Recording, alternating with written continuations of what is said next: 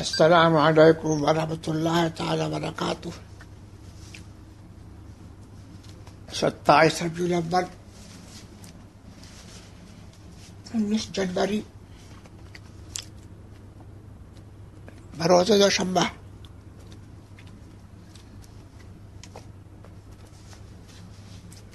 Dubai से ये session शुरू हो रहा है।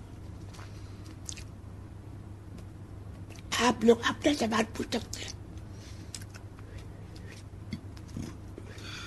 क्या कोई नौजवान जिसकी अभी शादी भी नहीं हुई है और बीमारी की वजह से उसके बाल सफ़ेद हो रहे हैं तो क्या वो किसी हकीम का नुस्खा जो बालों में लगाने का पेस्ट हो, काला खिजाब न हो, या खाने की दवा को इस्तेमाल कर सकता है? खाने की दवा इस्तेमाल कर सकता है। एक औरत का शौहर मिसिंग हो जाता है और पता नहीं चलता कि इंतकाल हो गया या ज़िंदा है तो इस सूरत में औरत कितनी मुद्दत तक दूसरा निकाह नहीं कर सकती। इमाम मालिक के मज़हब पर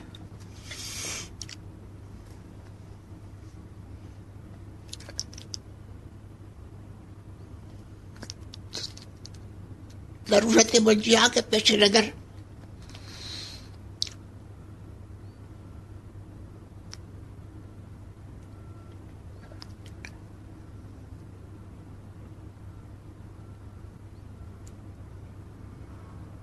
बल करने की इजाज़त है।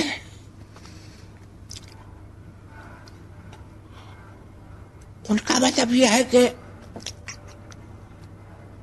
ऐसी औरत हाकिम शरा के पास। तो आशा करे, वह तहकीक हाल के बाद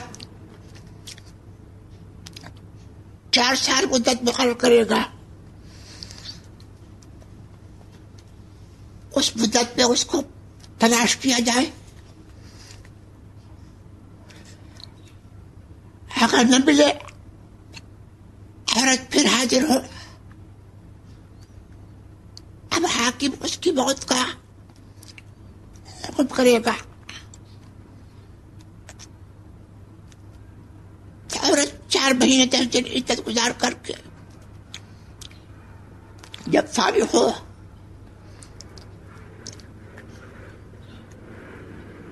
सदी का जायज़ कर सकेगी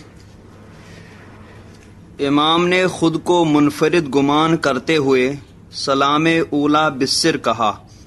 फिर याद आया तो बिल जहर कहा इस सूरत में सजदे सहव वाजिब हुआ या नहीं? नमाज़ हो गई। वाजिब नहीं है। जो आलिम न हो और इतनी सलाहियत रखता हो कि ज़ुबानी सही सही बयान कर ले। तो उसका ज़ुबानी बयान करना जायज़ है। तकरीर करना जायज़ है। जो सही तौर पर शराब बयान कर सकता है।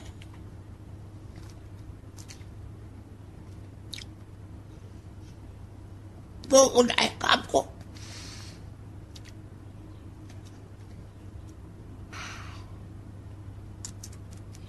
तकसीर में या मजलिस में बता सकता है।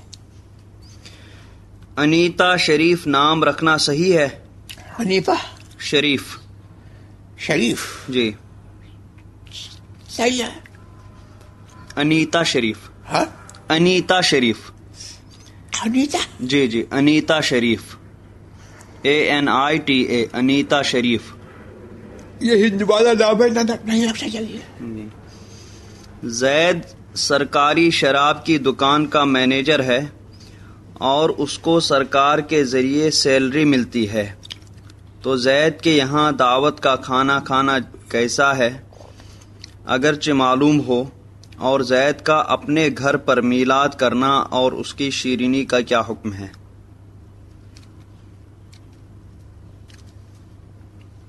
सरकार नहीं कहना चाहिए। घर ही कहना चाहिए। सरकार एक ही सरकार है। मदीने की सरकार।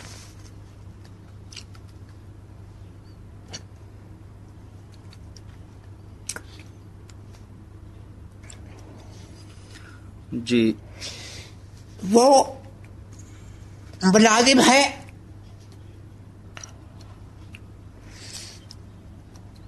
अगर गैर मुस्लिमों के साथ ये मामला करता है।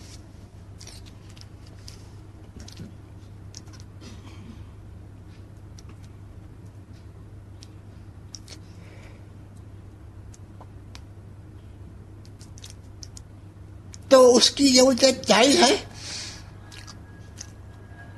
मुसलमान के साथ भी जायज़ नहीं है। और जब मालूम ना हो नहीं माली तो सूरत में उसके यहाँ खाने में हरज नहीं है जी। इमाम साहब अपने घर पर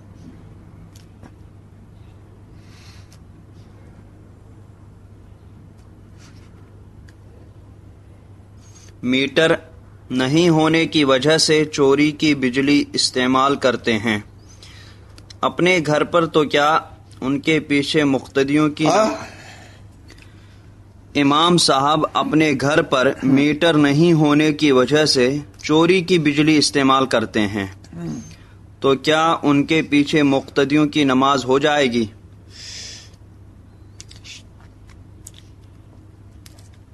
ये फिर जायज़ नहीं है।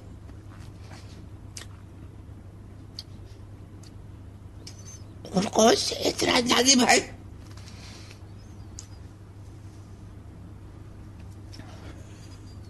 जी।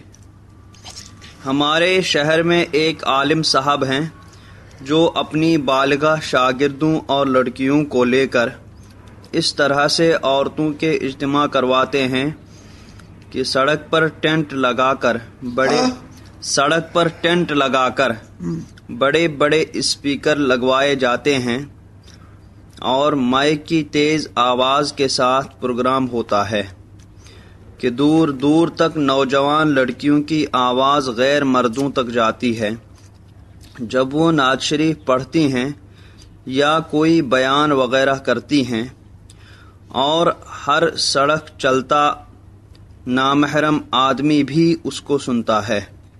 बल्कि आवाज़ें इतनी तेज़ होती हैं कि आधे किलोमीटर तक साफ़ सुनाई देती हैं। अब हुजूर ताजुशरिया साहब मद्दजिल्लाली की बारगाह में अर्ज़ है कि क्या दीन सीखने के लिए औरतों के इज्तमात बंद चार दीवारी में या घर के बड़े हॉल मौजूद होते हुए भी वहाँ पर होना चाहिए या लाउड स्पीकर के साथ सड़कों और आम रास्तों पर भी शरण इसकी इजाज़त है। इसकी इजाज़त नहीं हो सकती। खसूसन जबकि ये। हो। लड़के और लड़कियों का। चार दीवारी में हो। हाल में हो। इसकी इजाज़त नहीं हो सकती। और औरत की आवाज़ भी औरत है। खैर बहरम को आप अपनी आवाज़ सुनाई नहीं है। यह इस्तेमाल जायज़ है। जी। हुजूर, ये भी इरशाद फरमा दीजिए कि इस किस्म के इज्तमात जहाँ शर्ई हदूद का ख्याल नहीं रखा जाता है तो उसमें शिरकत करना कैसा है? नाजायज हराम है। ऐसे इज्तमात को मुनद करवाने वाले चाहे वो आलिम हों या गैर आलिम हों शर्ई हुक्म जानने के बाद भी ऐसा करते रहें तो उनके लिए क्या हुक्म है? गुनाहगार है जी। हज़रत कुछ लोग कहते हैं कि इद्दत करना कोई फ़र्ज़ नहीं है। औरतों पर तलाक के बाद क्या ये सही है?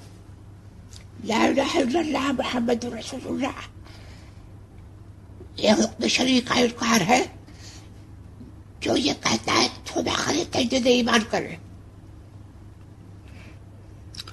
क्या हम स्टिकर खरीद और बेच सकते हैं जिस पर कार्टून एनिमल और दूसरी बेजान चीज़ों की तस्वीर बनी होती है। हज़रत रहनुमाई फरमाए।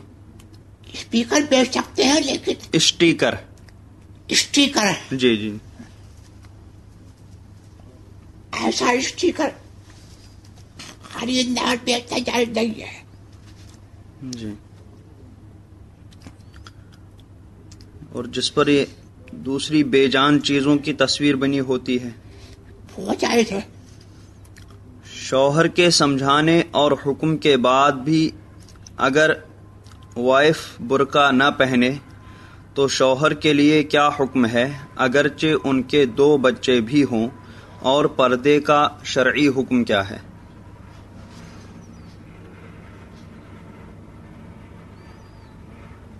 शरण पर्दा लाजिम है। अजानिब से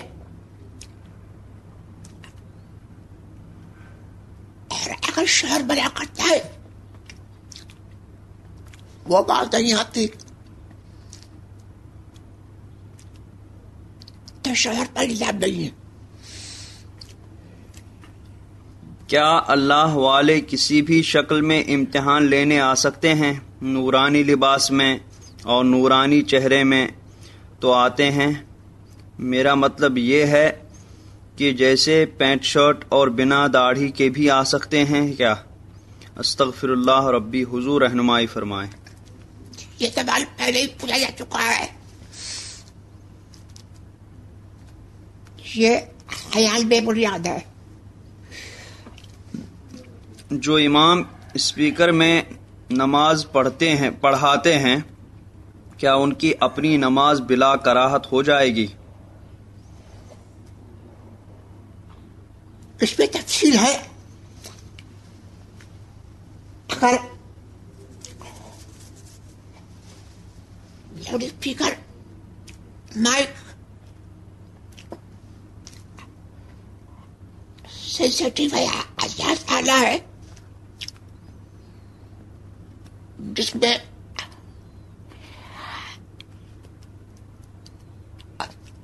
आवाज़ जानने के लिए हमारे कसीर की ज़रूरत नहीं होती। तो इमाम की अपनी हो जाएगी और जो उसके पीछे है।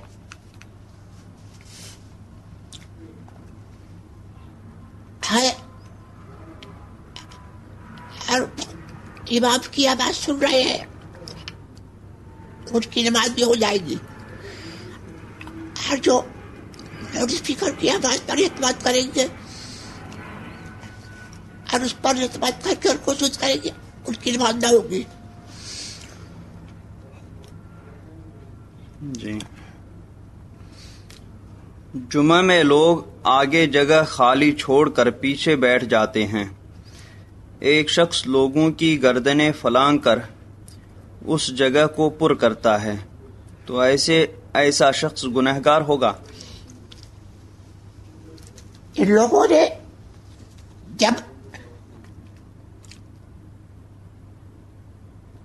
सफ़र को पूरा नहीं किया, बीच में सारी जगह छोड़ दी तो वो शख्स उस जगह को पकड़ सकता है। जैद शौहर है। उसने अपनी बीवी को तलाक तलाक तलाक कहा। उसके बाद फिर कहा, मैंने उसे छोड़ दिया। और ये सात शख्स के रूबरू कहा।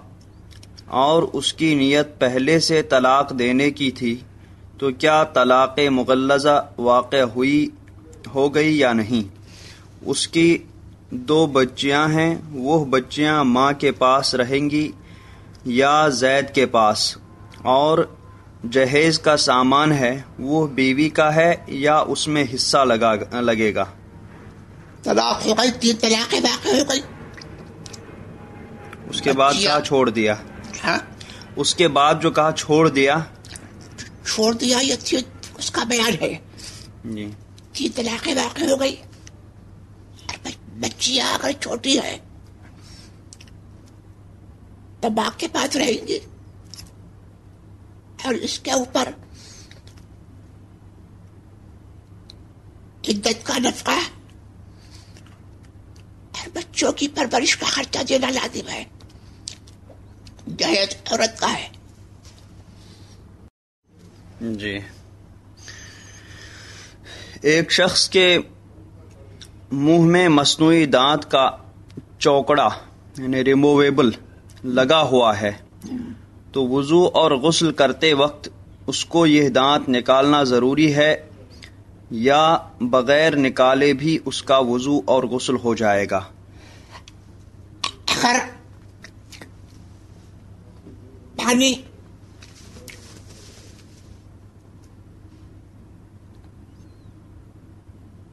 पूरे मुँह में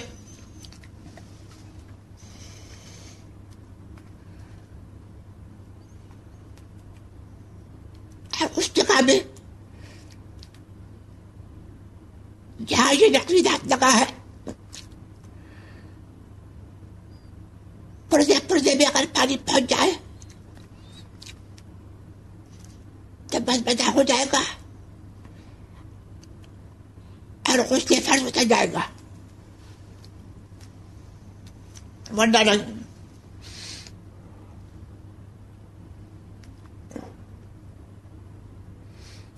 जी। हुजूर, अर्ज़ ये है निकाह पर निकाह का क्या मसला है?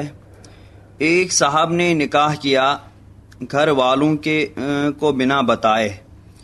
फिर उसने ख़ानदान के बुज़ुर्गों के ज़रिए घर वालों को मना लिया और फिर उसी लड़की से दोबारा निकाह किया और किसी को पहले निकाह के बारे में नहीं बताया। और जिससे इसका इल्म जिसे इसका इल्म हो तो और वो उस निकाह में गवाह के तौर पर शामिल हो। और जिसने निकाह पढ़ाया उस गवाह पर वकील पर शरई हुक्म क्या नाफिज होगा? किसी किसी पर कोई इल्ज़ाम नहीं है। निकाह हो गया। जी। क्या ऐसी कोई रिवायत है कि नबी करीम सल्लल्लाहु अलैहि वसल्लम ने फरमाया है कि अहले बैत, यानी कि सादात किराम, कैसा भी गुनाह करें, तुम उन्हें या उनके बारे में कुछ भी मत कहो। जब तक कि वो कुफ्र न करें, क्या ये बात सही है?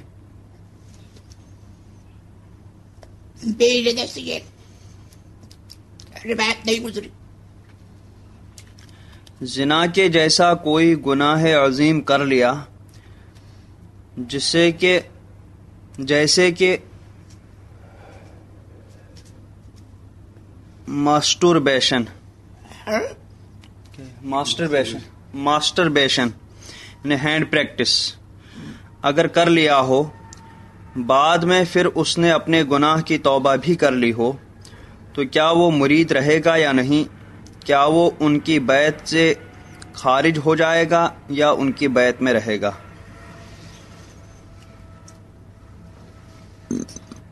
इससे बात नहीं टूटती।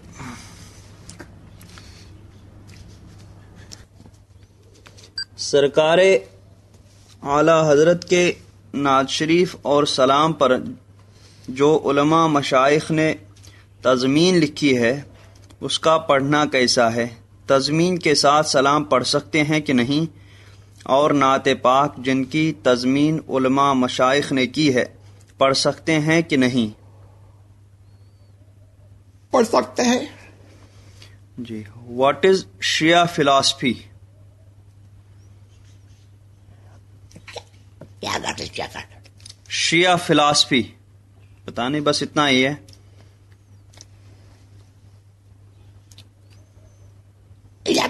Question जी एक आलम दीन है जिन्होंने अपने पोस्टर में कलमा शरीफ को उल्टा लिख दिया। हज़रत इस बारे में रहनुमाई फरमाएँ। उल्टा लिख दिया उल्टा लिखा पता नहीं कैसे। सवाल जी क्या बदमजहब से सूद ले सकते हैं?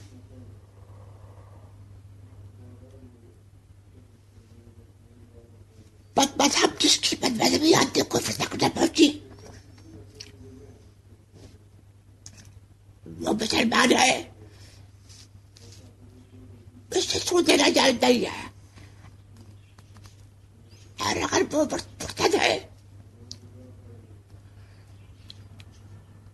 तो उससे मामला जायज़ नहीं है जी क्या चेन वाली जैकेट पहनकर नमाज़ अदा हो जाएगी? ब्रैकेट में जिसमें चेन दिखाई दे रही हो। और अगर चेन प्लास्टिक की हो, तब क्या हुक्म है? चेन अगर दिखाई दे रही है। तो नमाज़ में कराहत होगी अगर चेन प्लास्टिक की है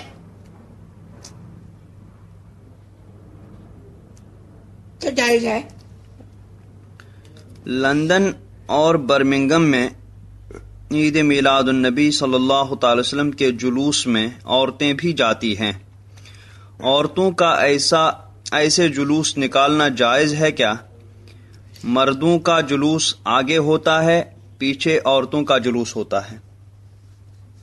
ये जायज़ नहीं है। बहुत से मुल्कों में ईद मिलाद पर केक काटे जा रहे हाँ। हैं। बहुत से मुल्कों में ईद मिलाद पर केक काटे जा रहे हैं। पर हमने तो केक ईसाइयों को काटते देखा है बर्थडे पे। आज सुन्नी नबी की विलादत की महफिल के आखिर में केक काट रहे हैं। क्या ये जायज़ है? अच्छा अच्छी बात नहीं है। ईसाइयों की मुशाबहत है। हज़रत से गुजारिश है कि यहूदियों की एप्लीकेशन फेसबुक को इस्तेमाल करने या न करने की वजाहत फरमाएँ। पहले भी फेसबुक को लेकर कुछ वजाहत हुई थी, लेकिन अब मामला कुछ अलग है। फेसबुक पे आए दिन कभी काबा शरीफ की तो कभी कुरान शरीफ की तोहीन होती रहती है, लेकिन अब तो हद हो गई। फेसबुक पे किसी ने हुजूर सल्लल्लाहु अलैहि वसल्लम की सख्त तोहीन की है कार्टून के ज़रिए जो बयान के काबिल नहीं। हज़रत, अगर मुनासिब हो तो इस खबीस फेसबुक के बाइकाट के लिए सख्ती से रद्द फरमाएँ।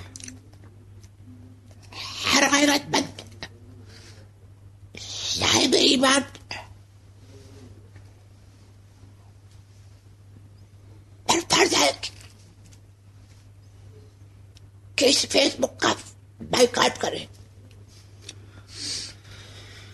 बैत के लिए हैं करीम फातानी, आरिफ फातानी, तोशी फातानी, मुमताज़ फातानी, नीलोफर फातानी, फिरोज फातानी, फिरोज़ा फातानी फप्फू फातानी, अक्सा फातानी, महक फातानी, अब्दुल कादिर फातानी, सलीम, नहीं, साइमा फातानी, मोहम्मद नोमान, अब्दुल वहाब, मोहम्मद हम्माद, महफूजा बिन मोहम्मद तौफीक, वाजिद हुसैन, राबिया बानू अंगस वाले हुर बानू अंगस वाले सिफा बानू दिल वाले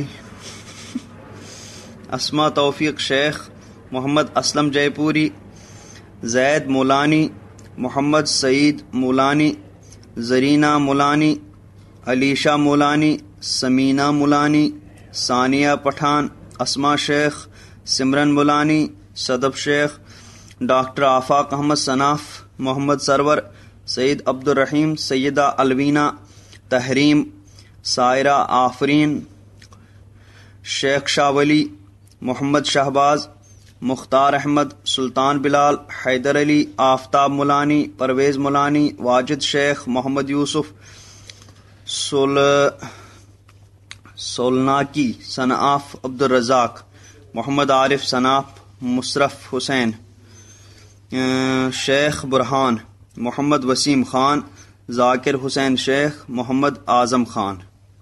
को दाखिले सिलसिला कर दीजिए।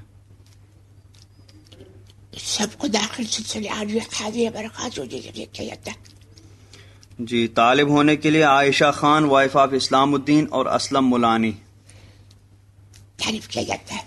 और तजदीद बैत के लिए मोहम्मद शादाब सना बेग हिना बेग मोहम्मद शादाब रजवी मोहम्मद रेहान रजा मोहम्मद जान रजवी मोहम्मद फारूक अजहरी मोहम्मद सुहेल अजहरी गुलाम उवैस अजहरी गौसे सफ़वान अजहरी शेख महराज अजहरी सुहेल अहमद अजहरी जुल्फ़िकार हाशमी अजहरी नफीस कादरी नजमा नफीस कादरी फ़ुजैल कादरी आयशा नफीस कादरी उस्मान कादरी सुफियान नूर कादरी रमीज़ रशीद रज़ा रमीज़ उर्फ़ रशीद रज़ा।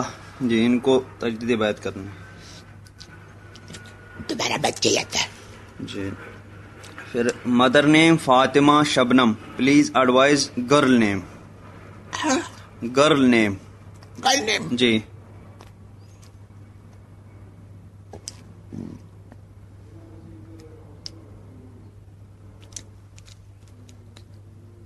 जहरा जी।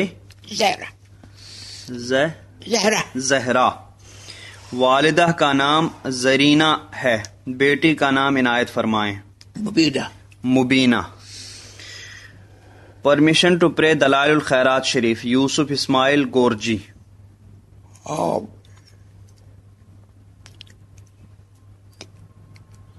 गिविंग परमिशन जी।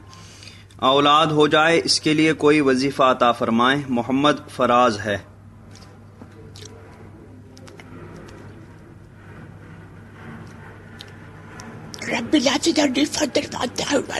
रब्बी ला तजरनी जी तजरनी फरदन व खैरुल वारिथीन डॉक्टर के कहने के मुताबिक बच्चे की पोजीशन पेट में उल्टी है।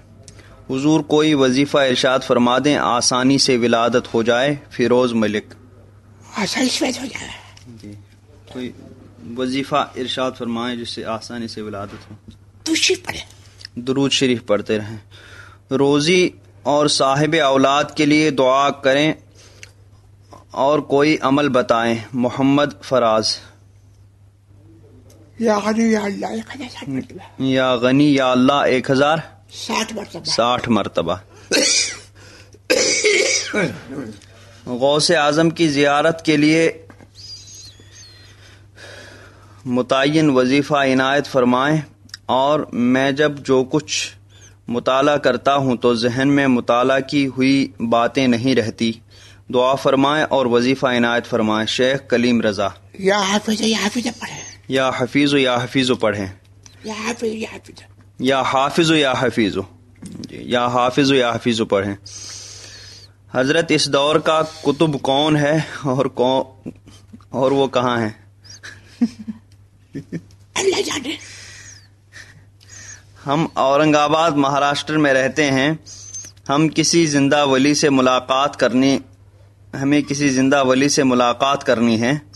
हमें क्या करना चाहिए और उनकी शनाख्त हम कैसे करें शेख अजहर?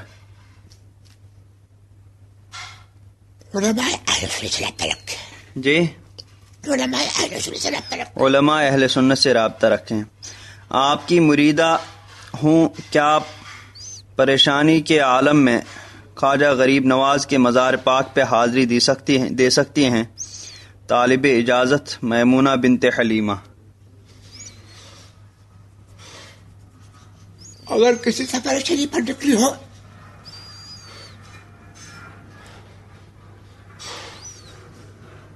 तो वजीफ़ा for success in exam Mohammad Imtiaz Razvi दूसरी पढ़े दुरूद शरीफ पढ़ें। I request you to grant me permission for reciting Nad Ali please recite the Sunni version of Nad Ali Mohammad Wasim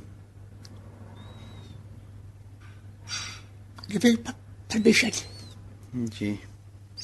रिश्ते के लिए वजीफा अता फरमाएँ मोहम्मद फारूक या फताह या अल्लाह। शादी के लिए अच्छा रिश्ता मिले इसके लिए दुआ की गुजारिश है और उसके लिए वजीफा दें। इलियास मलिक। या फताह या अल्लाह।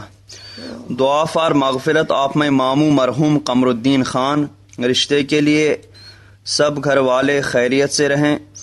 भांजे को समात